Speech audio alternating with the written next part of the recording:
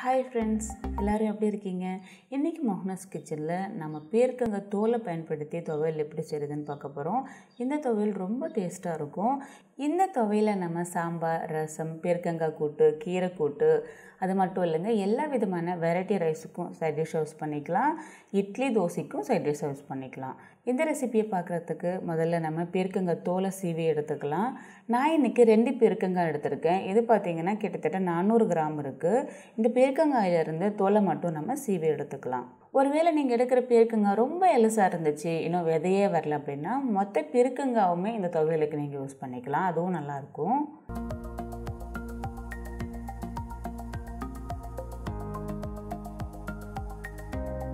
இப்போ பாருங்கள் நான் ரெண்டு பெருக்கங்காவோட தோலையுமே நல்லா சீவி எடுத்துட்டேன். இந்த தோலை நல்லா அலசிட்டு பொடிசாக கட் பண்ணி எடுத்துக்கலாம். இவ்வளோ பெருசு பெருசாக இருந்துச்சு அப்படின்னா வதங்குறது கொஞ்சம் கஷ்டமாக இருக்கிறதுனால நல்லா பொடிசாக கட் பண்ணி எடுத்துக்கலாம். அடுத்து துவையல் பண்ணுறதுக்கு அடுப்பில் ஒரு கடாய் வச்சுருக்கேன். இதில் ஒரு டீஸ்பூன் அளவுக்கு எண்ணெய் சேர்த்துக்கலாம்.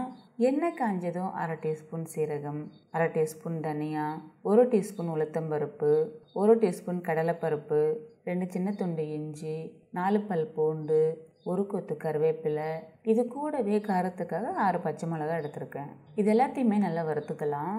இந்த பருப்பு எல்லாமே ஓரளவுக்கு வதங்கினதுக்கப்புறமா இது கூடவே கொஞ்சமாக கொத்தமல்லியை சேர்த்துட்டு நல்லா வறுத்துக்கலாம். இது எல்லாமே நல்லா வறுப்பட்டுடுச்சு இதை எடுத்து ஒரு பிளேட்டில் மாற்றிக்கலாம் அடுத்து அதே கடாய் அடுப்பில் வச்சுருக்கேன். இதில் ரெண்டு டீஸ்பூன் அளவுக்கு எண்ணெய் சேர்த்துக்கலாம். எண்ணெய் காஞ்சதோ நம்ம நல்லா க்ளீன் பண்ணிவிட்டு கட் பண்ணி வச்சுருக்கக்கூடிய பீர்க்கங்காய் தூளை சேர்த்துக்கலாம். இது கூடவே கால் டீஸ்பூன் மஞ்சள் தூள் தேவையான அளவு உப்பு சேர்த்துட்டு இந்த பெருக்குங்க தூளை நல்லா வதக்கிக்கலாம். எக்ஸ்ட்ரா தண்ணி எதுவுமே ஆட் பண்ண வேண்டாம். நம்ம தோலை அலசின அந்த ஈரம் இருக்கு இல்லையா அதுலேயே நல்லா வெந்துடும். இப்போ பாருங்கள் பெருக்கங்காய் தோல் நல்லா வெந்துடுச்சு. அடுத்த இதில் சின்ன நல்லுக்காய் சைஸ் அளவுக்கு புளி சேர்த்துக்கலாம். இது ஒரு தடவை கலந்ததுக்கப்புறமா கடைசியாக ஒரு டேபிள் ஸ்பூன் அளவுக்கு தேங்காய் சேர்த்துக்கலாம்.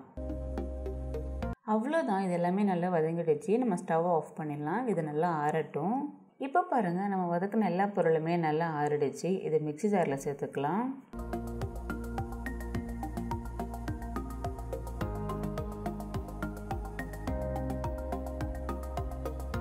இது கூடவே கொஞ்சமாக தண்ணி சேர்த்து அரைச்சிக்கலாம்.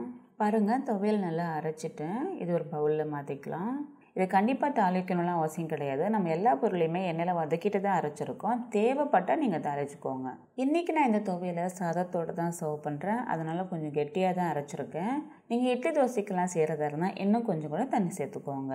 அவ்வளோதாங்க ரொம்ப டேஸ்டியான நம்முடைய பீர்க்கங்காய் துவையல் ரெடி ஆகிடுச்சு இந்த ரெசிபி நீங்கள் வீட்டில் ட்ரை பண்ணி பார்த்துட்டு எப்படி இருந்துச்சுன்னு மறக்காமல் கமெண்ட்டில் சொல்லுங்கள் இன்றைக்கி எங்கள் லஞ்சுக்கு ஒயிட் ரைஸ் பீர்க்கங்காய் தோலை செஞ்ச துவையல் அது கூடவே பீர்க்கங்காயை பயன்படுத்தி கூட்டு செஞ்சுருக்கேன். இந்த வீடியோ உங்களுக்கு ரொம்ப பிடிச்சிருந்துச்சுன்னா மோகனஸ் கிச்சனுக்கு சப்ஸ்கிரைப் பண்ணுங்கள் இந்த வீடியோவை எல்லாருமே பார்க்கணும்னு நினச்சிங்கன்னா உங்களோட ஃப்ரெண்ட்ஸுக்கும் ஷேர் பண்ணுங்கள் மீண்டும் அடுத்த வீடியோவில் சந்திக்கிறேன். பாய்